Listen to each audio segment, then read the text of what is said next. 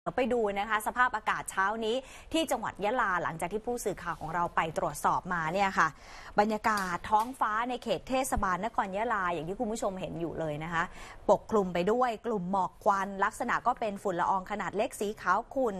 ทั่วท้องฟ้าตามถนนแล้วก็ตามภูเขาเห็นได้ชัดเลย โดยกลุ่มหมอกควันดังกล่าวเป็นหมอกควันจากไฟป่า จากเกาะสุมาตราของอินโดนีเซีย กระจายเข้าปกคลุมพื้นที่ภาคใต้ตอนล่างของประเทศไทย ลักษณะแบบนี้เนี่ยยังไม่ส่งผลกระทบต่อสุขภาพของประชาชนทั่วไป แต่ว่า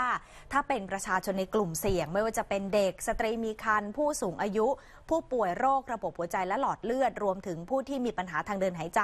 อาจจะได้รับผลกระทบนะคะ ทางคุณหมอก็แนะนำมาเลยนะคะว่า ให้ใส่หน้ากากอนามัย ปิดปากปิดจมูก เพื่อป้องกันอาการระคายเคือง แล้วก็ให้งดออกกำลังกายในพื้นที่โล่งแจ้งในระยะนี้ และถ้าหากมีอาการผิดปกติ ให้รีบไปพบแพทย์ทันทีนะคะ ส่วนการสัญจรไปมานะคะคุณผู้ชมจะเห็นว่าสภาพอากาศเนี่ยตอนนี้เรื่องของการมองเห็นหรือว่าทัศนวิสัยต่างๆ ยังไม่ได้รับผลกระทบนะคะเพราะว่าเส้นทางต่างๆ ยังสามารถเดินทางได้ตามปกติ แต่ในช่วงที่หมอกควันมีปริมาณหนาแน่นอาจจะทำให้ทัศนวิสัยไม่ดี ผู้ใช้รถใช้ถนนควรเพิ่มความระมัดระวังค่ะ ทางกรมควบคุมมลพิษรายงานสถานการณ์หมอกควันในภาคใต้ตอนล่างนะคะ ตัวเลขที่รายงานมาคือวันที่ 13 สิงหาคม ระระดับฝุ่นละอองขนาดเล็กนั้นสูงขึ้นอย่างต่อเนื่อง และเมื่อวานนี้ก็มีปริมาณฝุ่นละอองขนาดเล็กไม่เกิน 10 ไมครอน คือค่า PM10 เนี่ยสูงสุด ตรวจวัดได้อยู่ที่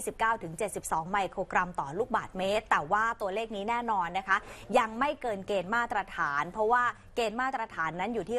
120 ไมโครกรัมต่อลูกบาศก์เมตร ถ้าเกินไปแล้วเนี่ยก็อาจจะกระทบต่อสุขภาพของประชาชนได้ แม้ว่าจะยังไม่เกินแต่อย่างที่แนะนำไปนะคุณหมอบอกเลยว่ากลุ่มเสี่ยงเนี่ยต้องระมัดระวังแล้วก็ดูแลป้องกันตัวเองให้ดีนะคะ